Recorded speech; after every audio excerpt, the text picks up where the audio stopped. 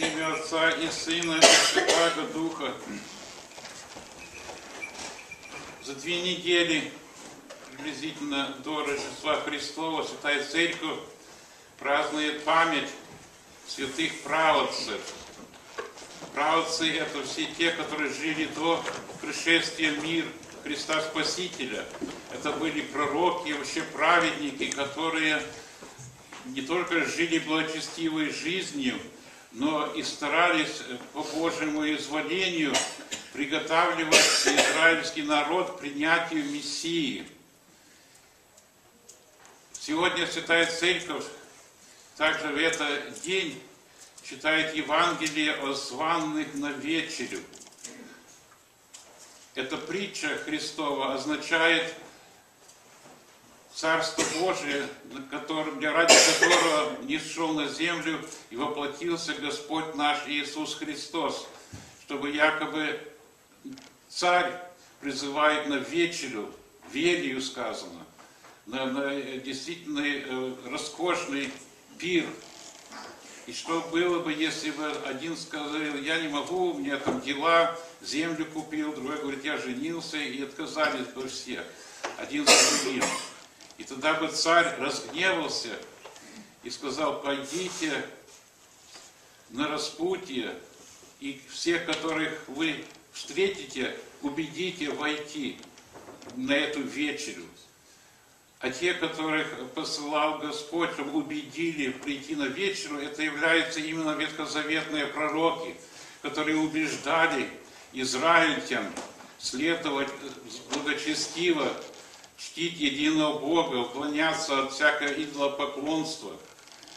Они и назывались пророками избранный народ. Не для того, чтобы они, как неправильно потом стали думать многие, что они это расовое какое-то вознаграждение, что они что-то особенный какой-то народ в физическом смысле. Как евреи они избранные. Нет, они были избранные Богом для того, чтобы жили они живя среди, как вы знаете, огромное число со всех сторон, не только язычников, но и идолопоклонников, и даже такие, которые жертву приносили человеческую, и, и воины, и вообще народ, который был дикий, можно сказать, необузданный. А израильтяне вот воспитывались пророками, чтобы они отличались, были благочестивые, и к ним не зашел Христос в Вифлееме от семени Давидова, рождается Христос. Мы знаем, что во время земной жизни Христос неоднократно довольно часто говорил о том, что действия, которые Он производит, что они были предсказаны пророками. И мы молитве нашей верою, что Он, Христос, Господь, воскрес третий день по Писаниям. Если это было все написано, предсказано пророками о Христе Иисусе. И также на празднует память сегодня в особенности пророка Даниила и святых трех отроков.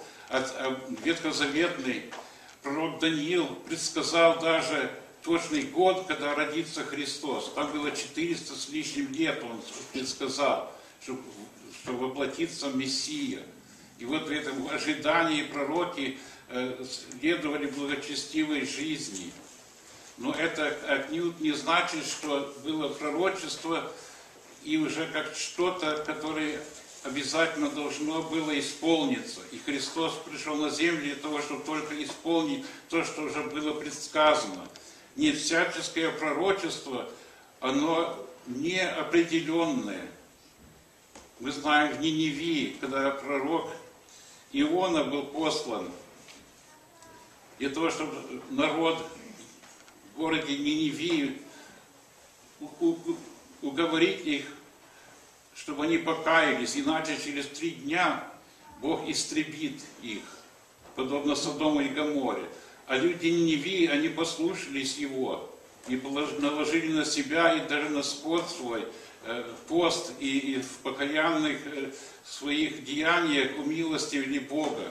И вот не, не произошло никакой гибели Ниневии. И это показывает на то, что многое э, зависит от нас самих, всякие предсказания, они не, неопределенные.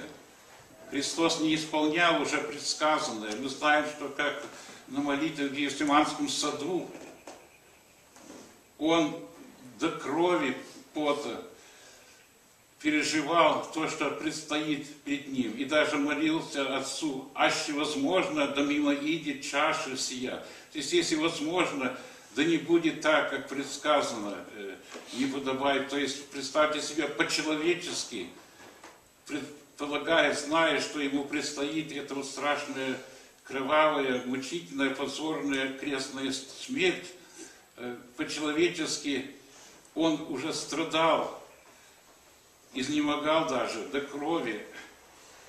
Но потом говорит об Отче, да будет воля Твоя. Предался воле Бога Отца и пошел на эти крестные страдания.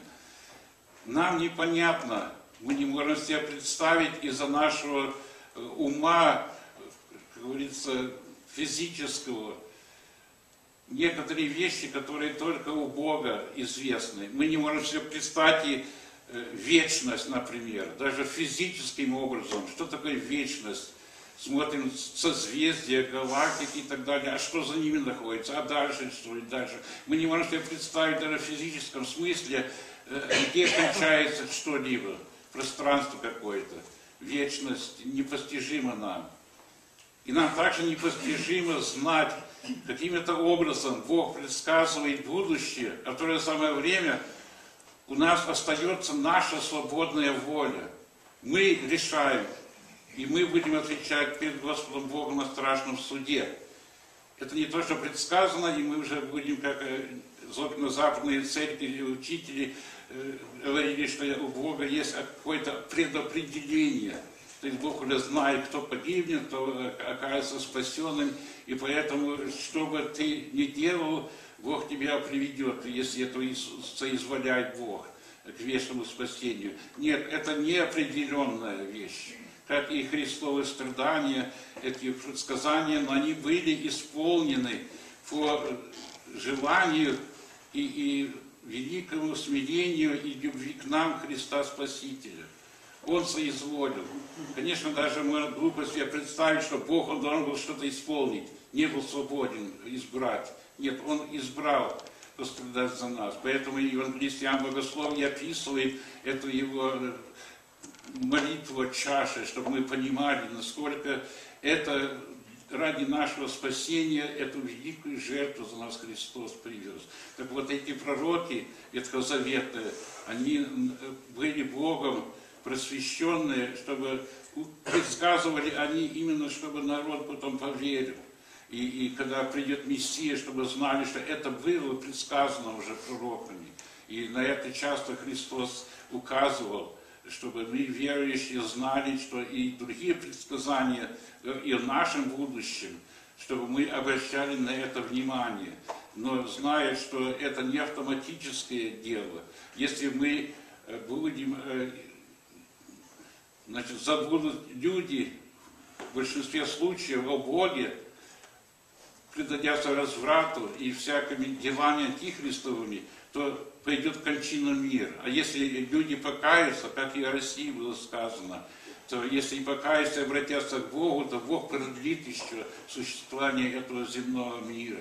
Так что это указывает на то, что это есть возможность избежать казни, есть возможность нам спастись, но это от нас зависит.